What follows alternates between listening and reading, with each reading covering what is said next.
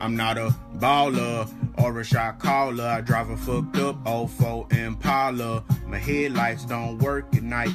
My windows don't either, but that's alright. I hit the highway, but I gotta drive slowly.